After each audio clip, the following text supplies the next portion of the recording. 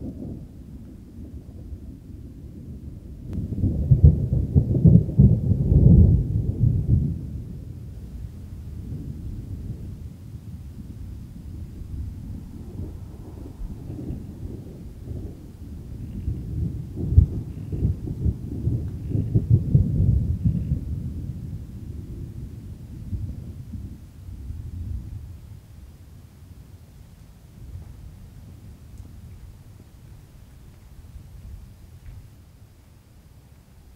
about to set sail from Little Rock, Arkansas out to Durango, Colorado area. We've got a muzzleloader tag for either sex elk, unit 75, 751, and then a buck tag mule deer. And so pretty excited about that. Going to be hunting with Tom Kenner with Antler Ridge Outfitting.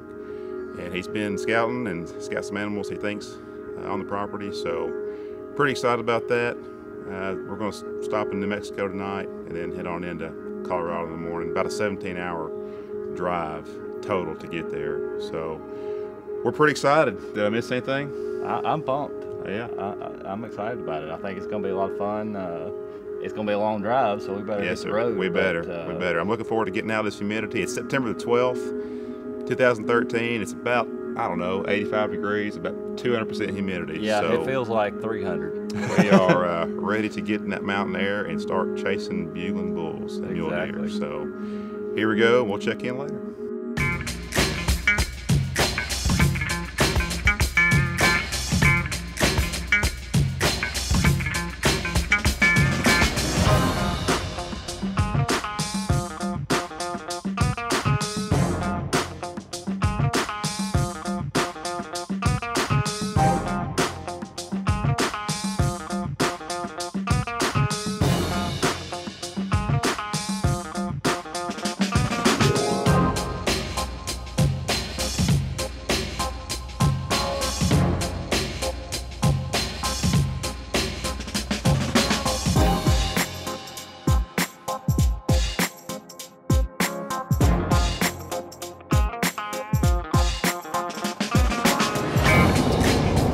About time to eat here in a little while. We're going to stop in at the Big Texan, and I think Chris is going to try to get a steak. I'm not sure he's going to go for the big 72 ouncer, but uh, that's kind of a tradition for me going out west. We always stop at the Big Texan whenever we can. So.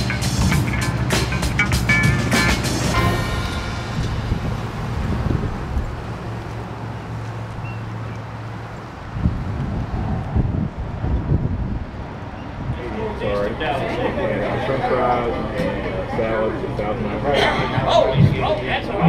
Basically the same thing. I want uh, 8 ounce. Well, we just got through uh, eating at the Big Texan. Uh, one option is to eat a 72 ounce steak. You can eat it one hour, get it free. Uh, Chris and I took one look at it and opted for the 8 ounce.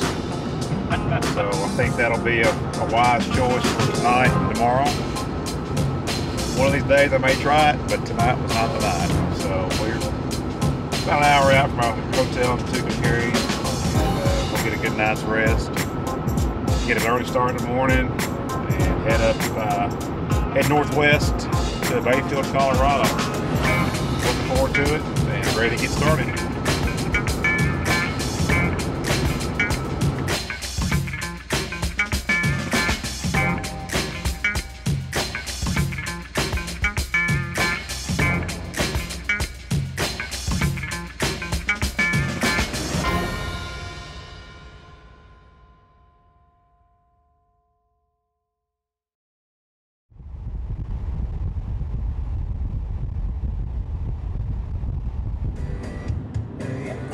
sing the sweet side, my soul side, my best side.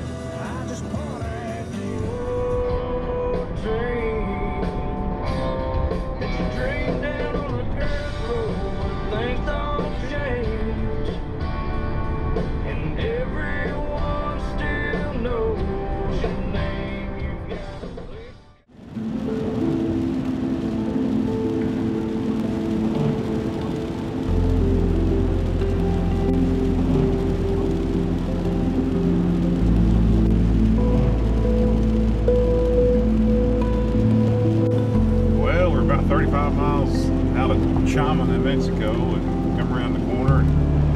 It's been a lot of rain the last few weeks, and right now, of course. And uh, there was a pretty good sized rock in the middle of the road, maybe 100 pounds, 120 pounds, two by two, two, two feet by two feet. So we passed it and got thinking that that could cause some damage.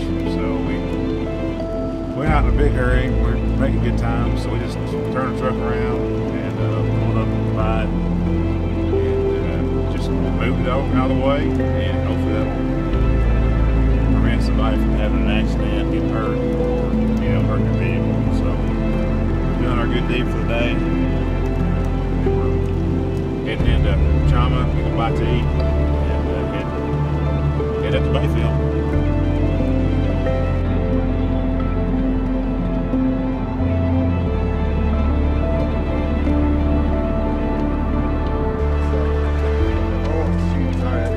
Tag here finally. Took a little bit of doing, but the lady was nice, and uh, Tom is gonna get us on some animals. So here we go. horns, but he's got a body like Well, it's crazy. I told 'cause, Chris, mean, I, said, I just love to have a big six by six, but I just want to get on the board. Yeah. Never killed a bull, so yeah. Well, well, you know, I mean, thing about this country is, you know, you better, don't get too picky. Yeah, don't be too picky. Yeah, I mean, you need to, you know, get a le If you see a legal bull, you Go need ahead to and take, take it. You yeah, know. that's what that's what we'll do. Yeah. So and, unless uh, it's you know real early in the hunt or something, not a great shot or something, but Yeah, yeah. Well, uh, down there where we're going, it's it's a pretty good place. It's kind of it's kind of kind of away from everything. You Is know? it? It's not far from up from the highway or Okay. whatever. So all right.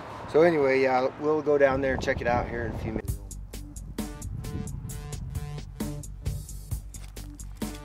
Jog out like this, and I'll show you that over there. But this is how it's shaped. Okay, so it's kind of complicated. All right, so across that fence is not your problem. That's a no-no. That way. Yeah. Okay. Okay.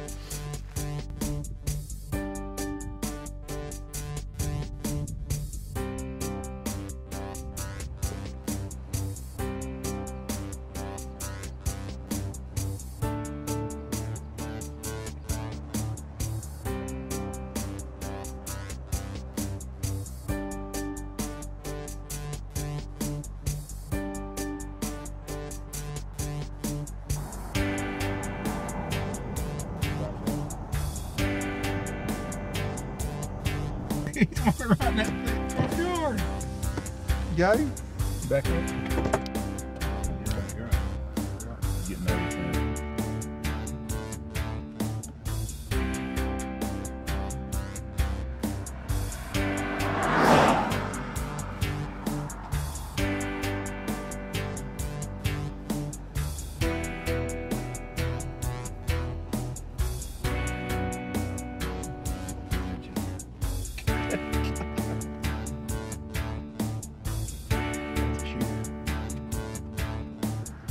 Got a tag in his hand. Look at the size of that rack. He's a three by four with some brow tines. How big is he?